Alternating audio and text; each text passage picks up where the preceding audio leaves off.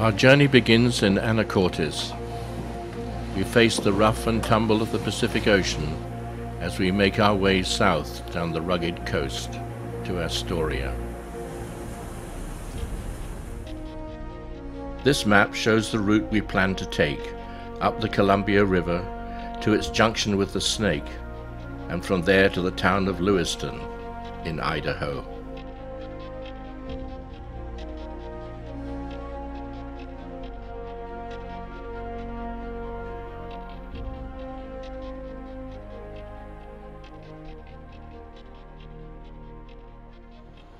We moor in the shadow of the Astoria Megler Bridge.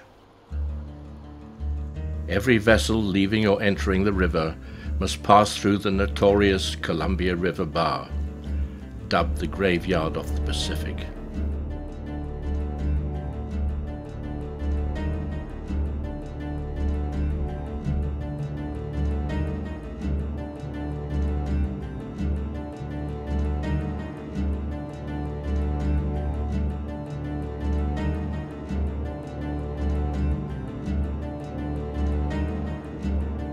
This mural at the Maritime Museum illustrates the more than 2,000 large vessels which have come to grief crossing the bar since 1792. The remains of the Peter Iredale, wrecked 110 years ago in 1906, now serves as a climbing frame for visitors to the beach on this holiday weekend. Within the museum, a retired Coast Guard vessel forms the centerpiece of a rescue at sea, while this photo shows the real conditions. The bar is now safer due to the construction of extensive jetties started in the late 1800s. This is the South Jetty, a whopping 6.6 miles long. We are lucky to be invited to visit the pilot station and be given a tour of the rugged, purpose-built boats.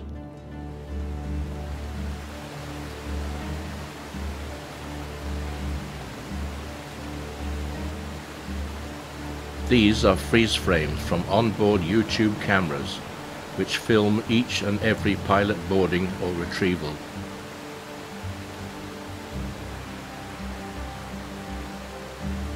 Helicopters are now used more frequently. This picture was taken by the pilot dangling in midair just seconds after he was snatched from the side deck of this freighter. The museum has a real-time GPS display which shows Venture, but for some reason describes her as a sailing vessel. Close by is the reconstruction of Fort Clatsop, where Lewis and Clark overwintered after their long and arduous journey from St. Louis in 1805 a journey they could never have survived without the invaluable support of Indian tribes they encountered along the way. We visit a street market.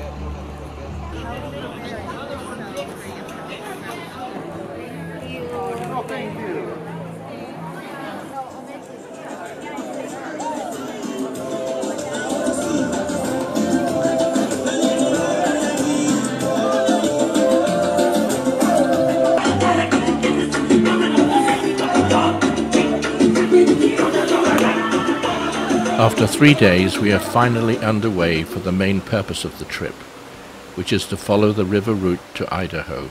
Here we find ourselves in close proximity to large ocean-going ships traveling at speed. The lower part of the Columbia is a mass of islands and sandbanks, many of which created by earlier floods, such as the one in 1894.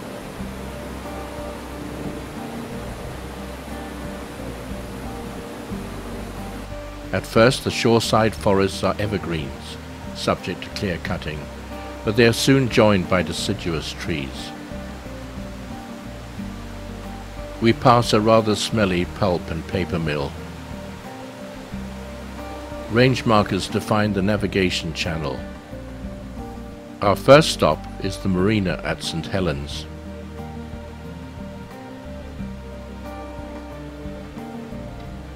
Local boater takes his keen crew out for a spin. The river is now very wide with occasional commercial operations, such as this grain loading terminal.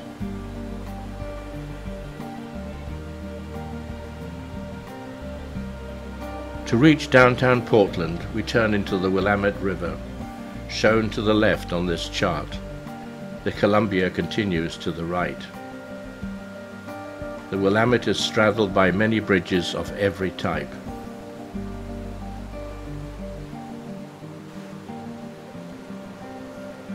This unusual bridge can raise the lower level while leaving the upper roadbed undisturbed.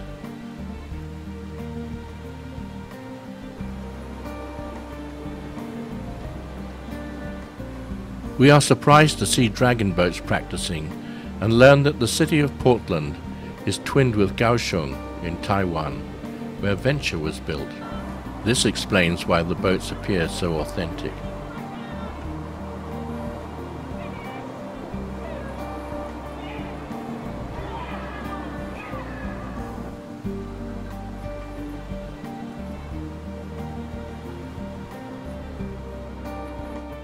there is only the one marina in downtown Portland. We visit the famous rose garden with its exquisite blooms.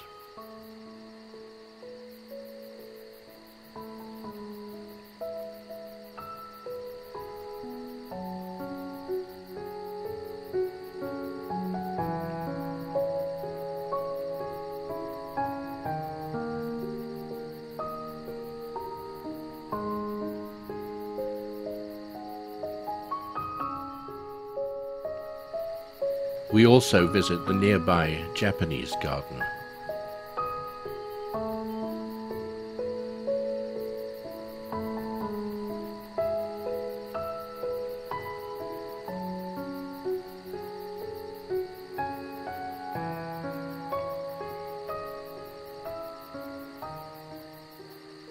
After two days, we backtrack down the Willamette River we meet commercial traffic including this stylish car carrier. At the junction with the Columbia, we see the truncated peak of Mount St. Helens. Debris from the 1980 eruption flowed into the Columbia, reducing its draft from 40 to 14 feet and trapping ocean-going ships upstream. It is Mount Hood that dominates the horizon once we are back in the Columbia. We are invited to stay at the Columbia River Yacht Club, where all resident boats are required to be kept in floating boathouses. We notice the unusually tall pilings, which despite their height were barely sufficient to resist the massive floods of 1996, marked by this plaque.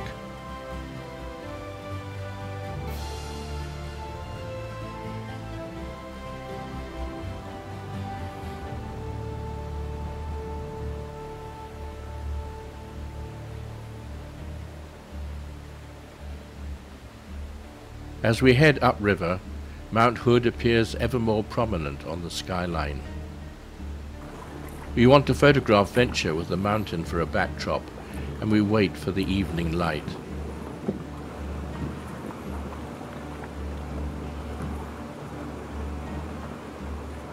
Sadly, clouds allow the sun to light the boat, but leave the peak in shadow.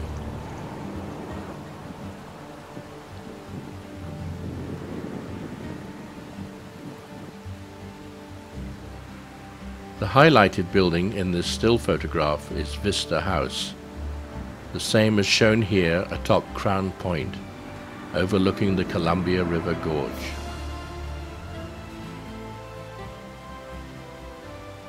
The topography of this entire area is the result of cataclysmic floods which occurred some 15,000 years ago when the ice dam shown at the top right of this map collapsed.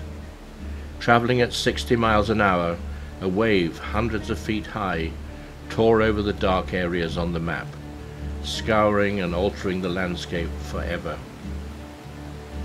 I will return to this subject later in this video, but present-day evidence on the Columbia River Gorge includes Rooster Rock, originally called Cock Rock due to its similarity to a male appendage.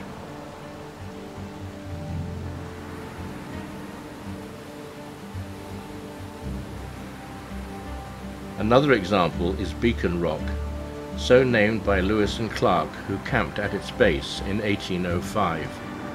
It is the core of an ancient volcano from which all the surrounding earth was stripped away by the Ice Age floods. We tie up at the dock where the current is sufficiently strong to keep our free-running Sea-Talk shafts turning. Chris and Christine take the amazing trail up to the top of the rock, from which there is a great view of Venture.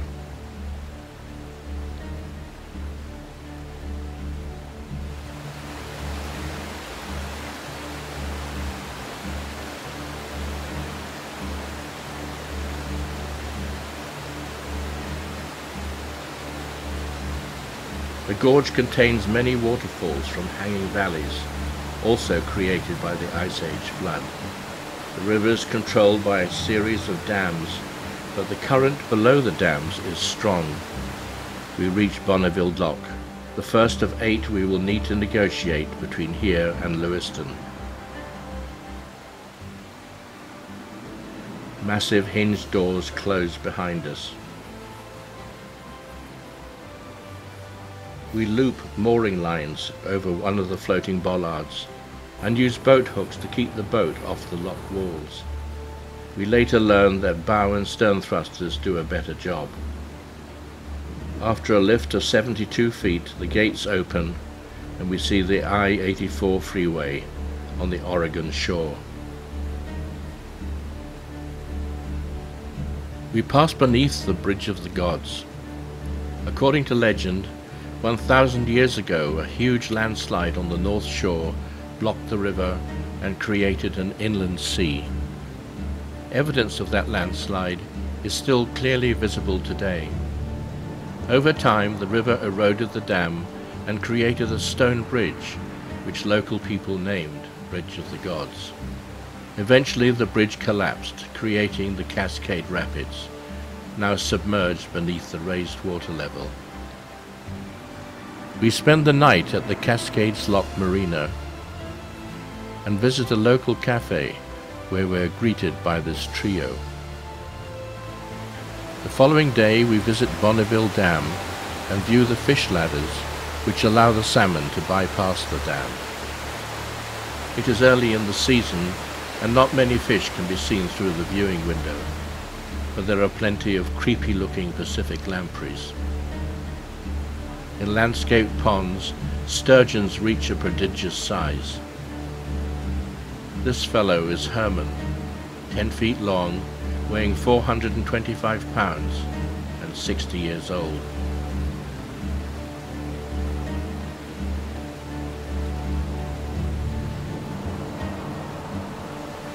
Turbulent water below the dam attracts fishermen fishing for shad, a fish native to the US East Coast and first brought here by rail in 1871.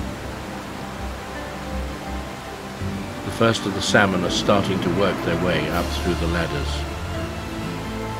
Before the building of the dam, the Columbia had extensive rapids and was one of the most prolific salmon rivers in the world, as shown in these historic photographs.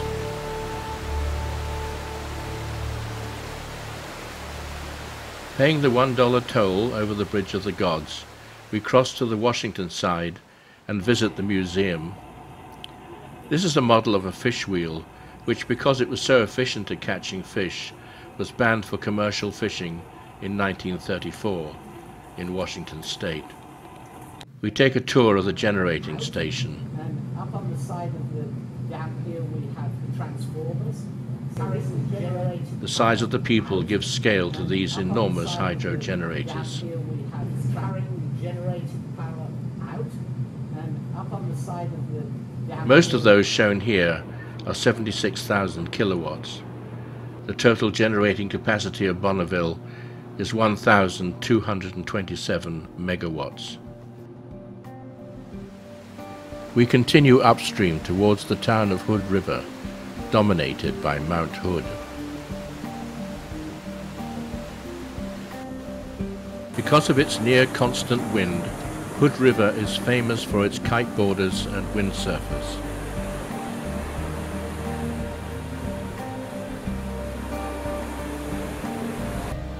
We tie up at the guest dock, with the word length in the tariff for mooring charges. Seems to be missing a letter. We are lucky to be lent a car by local friends, because no rental cars are available. We head out to visit the Timberline Hotel at 6,000 feet up on the slopes of Mount Hood, where skiers are taking advantage of the snow which continues to fall.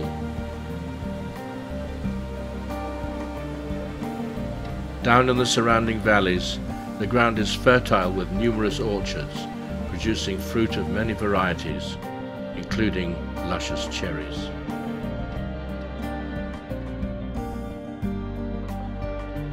Back at the river, kiteboarders are getting ready in the strong wind. Enthusiasts move here from all over the country and even the world because of the perfect conditions.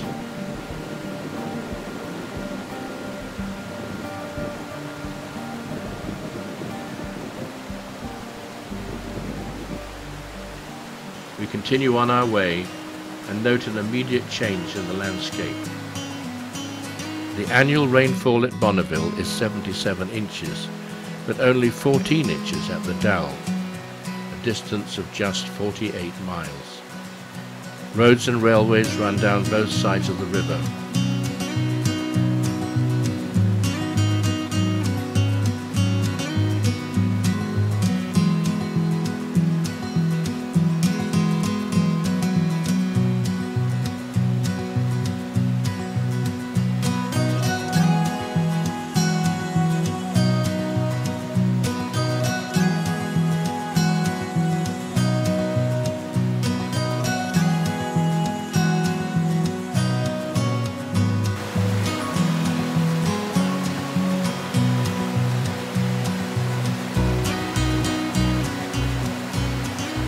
see very little barge traffic, but this may be due to the time of year. Annually, the Columbia and Snake Rivers carry some 17 million tons of cargo to and from the Pacific Ocean. More than one third of the wheat and barley shipped from ports on the lower Columbia arrives by barge. One barge can carry 3,500 tons. Our next stop is at the Dalles, where again all resident boats are kept in boathouses. The name Dalles comes from the French word dalle, meaning slabs, because this is another place where rapids are now submerged. The Columbia River is in the background beyond the bund. Chris tries out our new electric barbecue.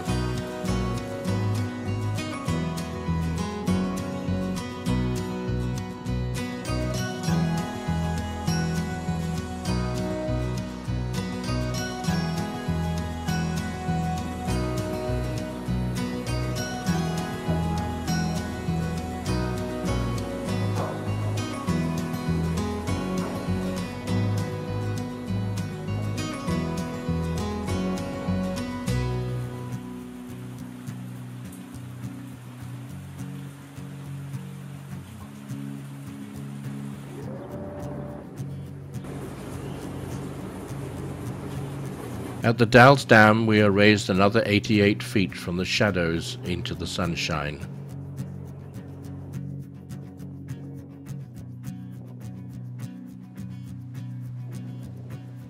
Along with a commercial tow, we pass beneath a lift bridge.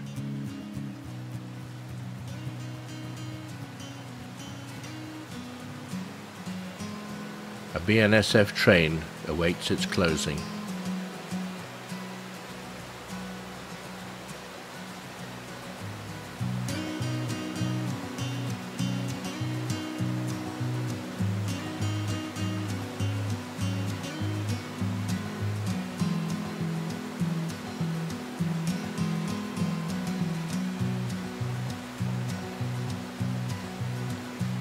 Swathes of green mark areas of irrigated cultivation in this dry environment.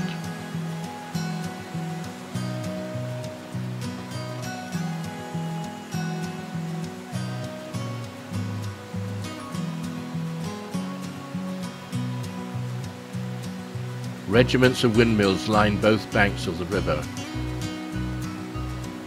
High above, we spot Maryhill House, built entirely of concrete by Sam Hill in 1914 for his daughter who refused to live in this isolated spot. It was converted to a museum in 1940. He also built a concrete replica of Stonehenge, ironically now flanked by modern windmills. We are surprised by the reappearance of Mount Hood when we reach John Day Dam.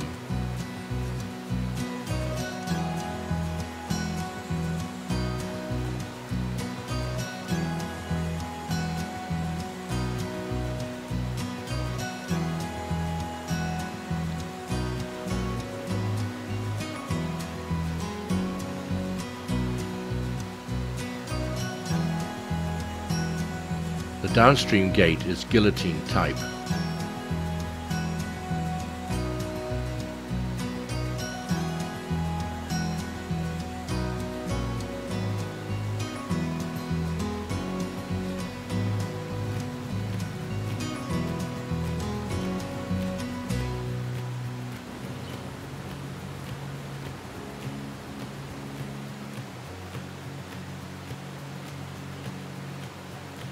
Rather sinister crack extends to the full height of the wall. The spacing between the horizontal lines is 5 feet, and at 105 feet this is the tallest dam along our route.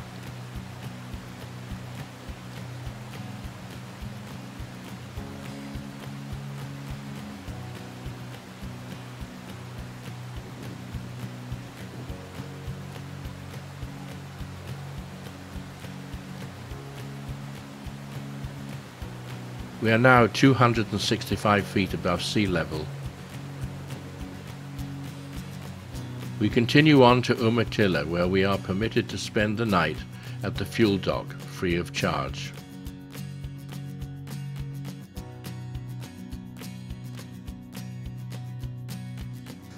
The following morning we enter McNary Lock with a lift of 75 feet. Humorist has decorated the floating bollard.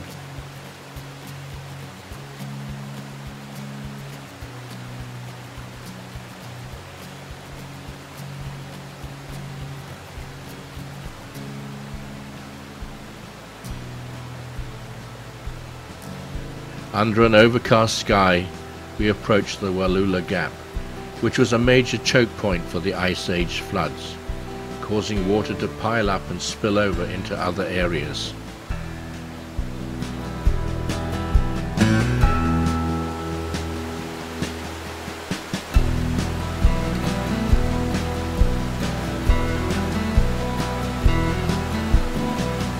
Another calling card from the Ice Age floods are these rocks named the Twin Sisters. Just east of here we leave the Columbia and turn into the Snake River.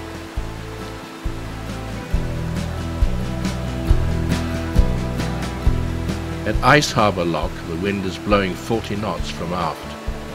When we reach slot number 5, we find the floating bollard is missing, and we must reverse back against the wind to slot number 3.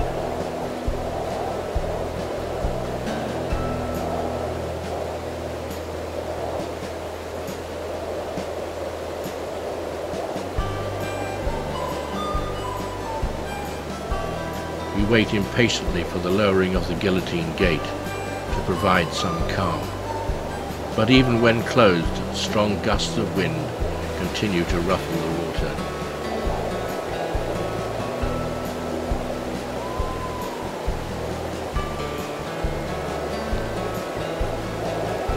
Our fenders are enclosed in construction-grade garbage bags to protect them from the rough walls of the lock. Above this dam, a series of trestles mark the line of an abandoned railway.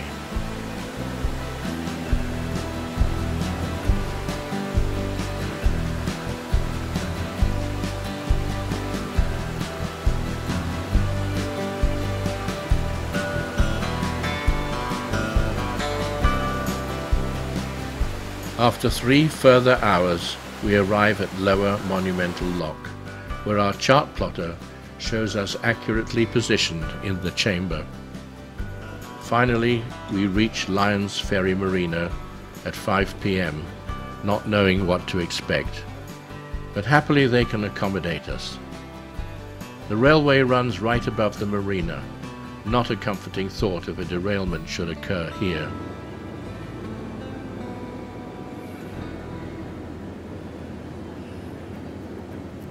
At 1,300 yards, the nearby rail bridge was the longest in the world when built in 1914. It is completely filled by this train.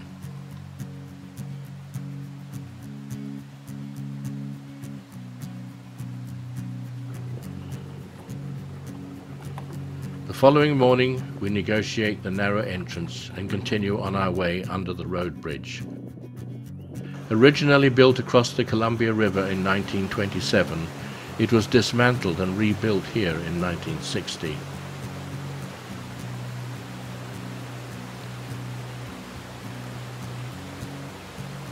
At Little Goose Lock, we are raised another 98 feet.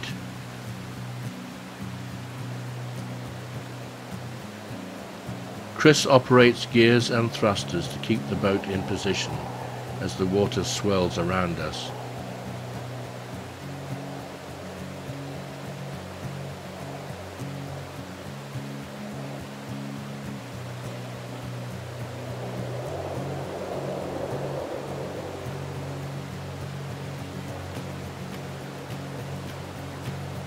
Barges transport juvenile salmon downriver because their extended travel time caused by the slow-moving water upstream of the dams increases their mortality.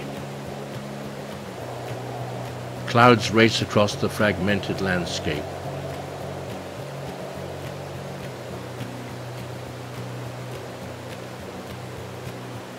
We feel our way into Boyers Marina through its narrow entrance.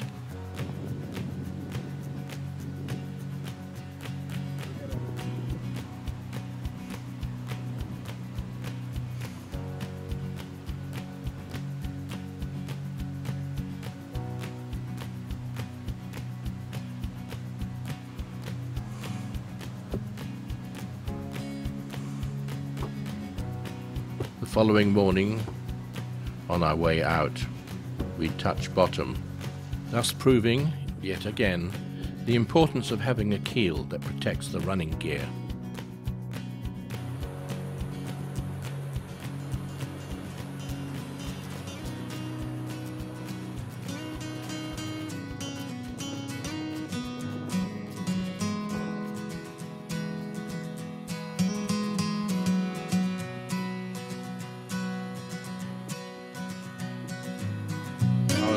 Upstream dam, Lower Granite, raises us a final 100 feet to bring us to 738 feet above sea level.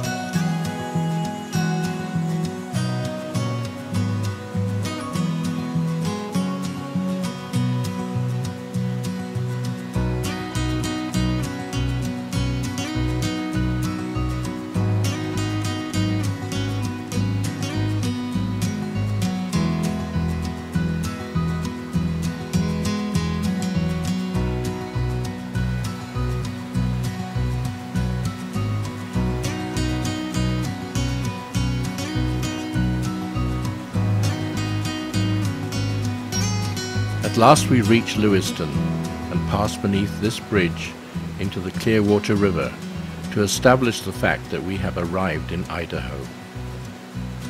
It was at this very point in 1805 that the Lewis and Clark expedition joined the Snake. Lewiston has no facilities for boats, and the marina in nearby Clarkston is too small for venture. Our only recourse is to moor on the landward side of the cruise ship dock, where we again touch bottom. as we enter. To proceed further up the Snake, we join a jet boat to travel 57 miles through Hell's Canyon. This boat draws just 12 inches when underway and 30 inches when at rest. There is no wheel, just levers and throttles.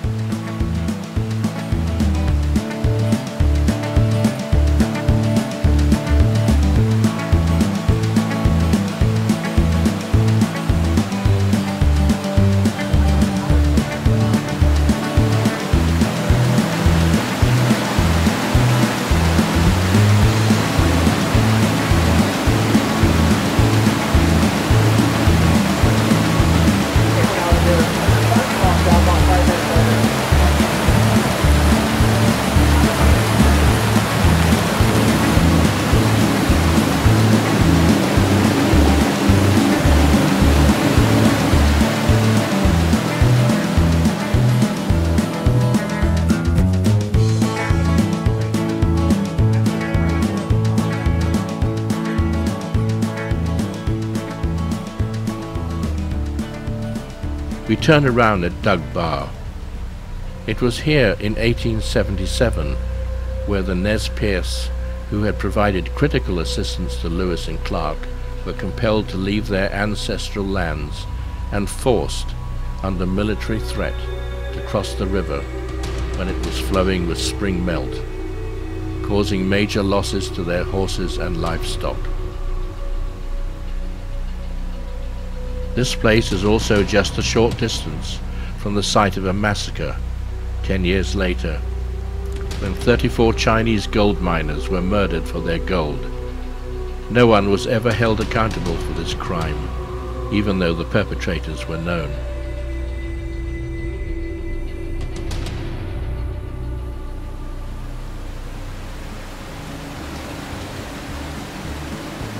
We briefly enter the fast-flowing Salmon River, which drops more than 7,000 vertical feet over its 425-mile length. It is the longest free-flowing river remaining in the US. This stretch of the Snake is free of dams, although they do exist in the upper reaches. At the 11th hour, an application for two dams along this stretch of the river was denied by the Supreme Court on the grounds that environmental concerns and recreational needs outweighed the requirement for additional hydropower.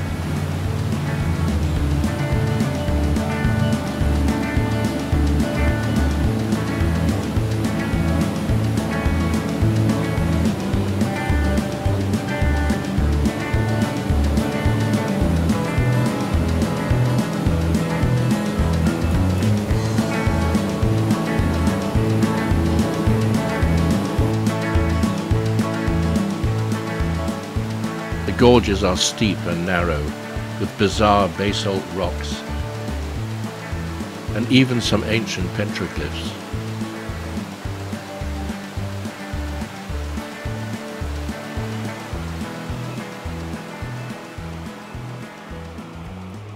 The following day we take our leave of Lewiston and begin our return journey downriver.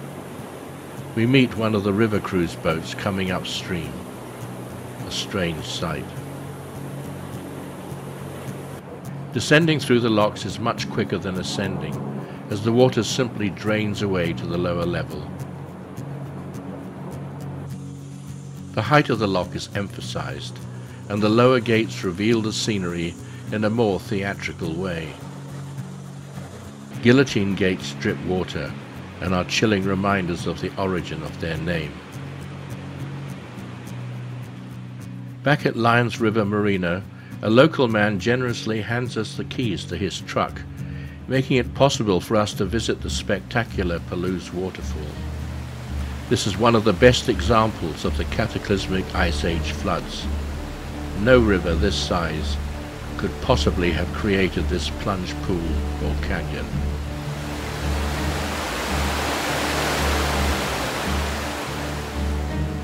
Note the train at the top.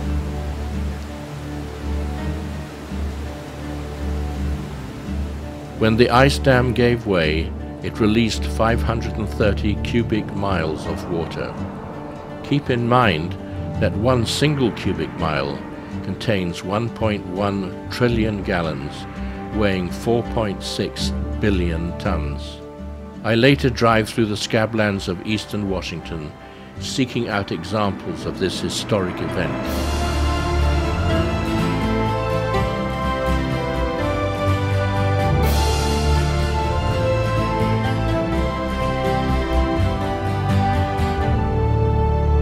Evidence of different flood levels. Ripples left by the raging flow of vast quantities of water. Erratics dumped by floating ice.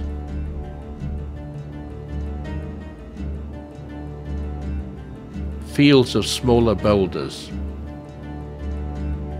Potholes scoured from fractured basalt by fierce underwater tornadoes called kolks, leaving pools and ponds scattered throughout the dry environment. Wallula Gap had acted as a hydraulic dam to the floodwaters. Passing through it, we encounter winds of 40 knots right on the nose, with waves steepened by wind against current. Mount Hood reappears dramatically on the horizon. The winds continue as we proceed downstream. We battle our way into Arlington, which we had bypassed on the way up, but the following morning is flat calm. We approach Hood River and are rewarded with a beautiful sunset.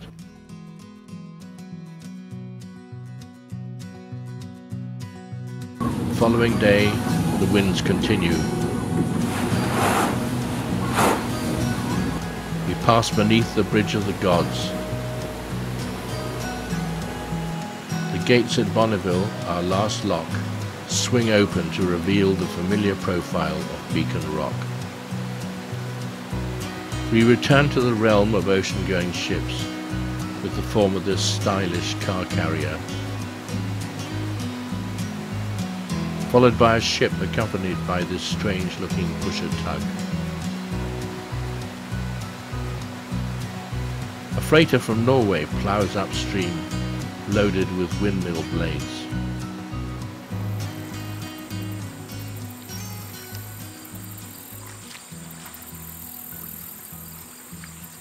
Our penultimate evening is spent in peaceful Cathlamet on the Washington side. It is blissfully quiet with an absence of trains.